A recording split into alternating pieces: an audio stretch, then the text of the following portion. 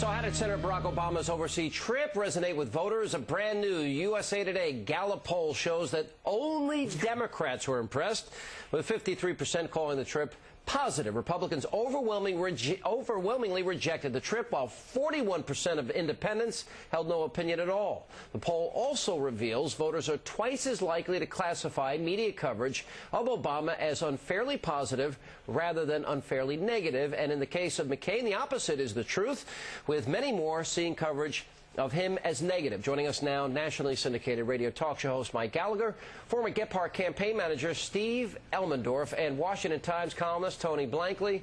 Uh, Mike, you and I talk about this often on the radio. No big surprises here, uh, especially in light of him, you know, abandoning the troop visit because the cameras weren't allowed and, and the campaign wasn't allowed. Uh, I think this is a net negative for him in the end. Your thoughts?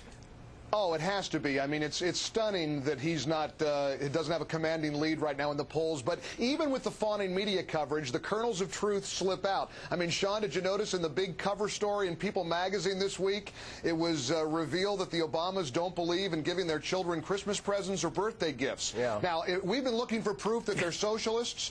there it is. There's proof positive that this is a socialist family. These children are going to have a lifetime of therapy to have to contend with. They don't give them. They don't give them. Christmas or birthday presents? You got to be kidding me. Uh, Tony Blankley, I don't know how big a factor that's going to be, but, but, it certainly is entertaining by my friend Mike. Uh, uh, your, your, overall thought is this? I think this is now a net negative, but there's more important uh, an issue at hand here, and that is he cannot break out and hold a number.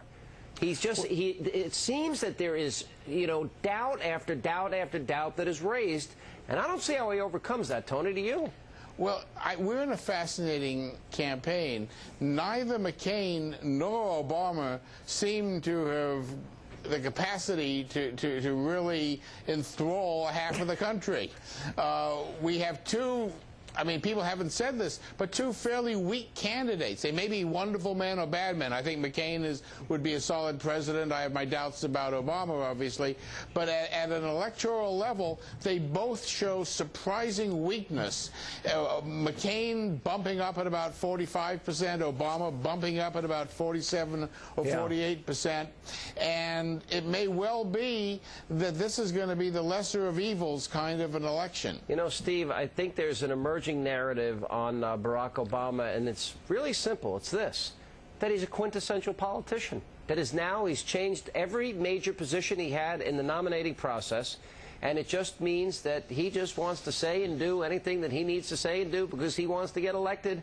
And all these choreographed, you know, photo events are being seen for what they are. It's it's actually change we can believe in, change his views, change his mind, change his principles. Sean, I, I, you're the only place where I've heard that narrative. Everywhere else in the country, the narrative is that Barack Obama is going to bring change to Washington and change to America. And he's ahead right now in all of these polls. I know you think he should be more ahead, but the fact of the matter is that he is Actually, consistently no, beating no. John Among McCain. likely voters in the Gallup poll, he's down by four. That is right. one poll. If you one go to real poll, clear said all these polls. I just cite one. That's enough. Look okay. at the Susan, average of all the polls. He is ahead consistently. The average. Well, of it's course, when you lose in one, you want to go to the average. Susan. It's going to be a close election. Democrats are going to take nothing for granted. But the fact of the matter is that Barack Obama has the edge right now because John McCain isn't talking about the issues that matter to the American people. He doesn't have anything to say about the you mean economy, like gas prices. people care about. Anyway, Susan, right. Hey, Mike. First of all, my yeah. condolences on your loss. Thank you, Susan. I, I, I appreciate that. Yeah, ditto to, from you know. Let me Thank ask you, you a question. I mean, McCain's people were complaining last week they were getting no press coverage. Meanwhile, they had him in a golf cart with 41. They had him at a German restaurant. They had him on the cheese counter. I mean, the luckiest thing that happened to him last week was that he didn't get any coverage.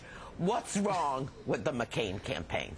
Well, what's going to happen, Susan, is where the rubber meets the road is when you take these two men and put them together. And I'm telling you, if there was ever merit to debates, this is the time. Because when, when the American people see, all the media coverage now has been independent of one another. You've got Obama over in front of 200,000 fainting Frauleins, as uh, Charles Krauthammer put it, over in Berlin. You've got McCain on a golf cart. But when you put these men together on a stage and they go one-on-one, -on -one, we're going to see one with experience, one with some wisdom, and the other one who's out of his element and is just just a, a guy who's, as Sean said, making it up as he goes.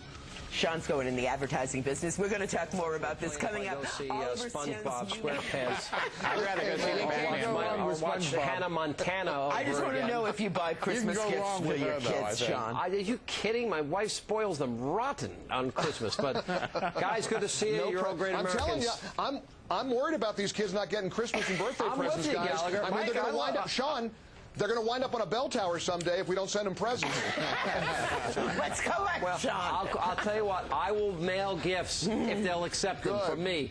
I think we should but, do but that. after all, Barack Obama's mad at me, and you know. By the way, my invitation remains for Senator Obama. Come on the show when we come.